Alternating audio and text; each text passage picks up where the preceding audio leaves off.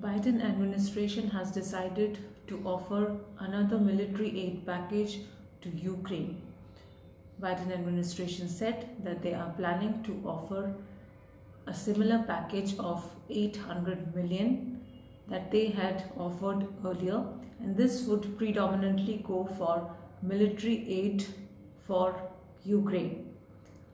A spokesman said that Ukraine is right now in the middle of severe crisis and they will be helping out Ukraine with military packages so that their military power can be enhanced and they can fight the Russian troops in a better way. Russia has lost many of their military personnel and the number of people believed to have died in Ukraine are approximately 20,000. That's a huge number of Russian military personnel who have died in Ukraine.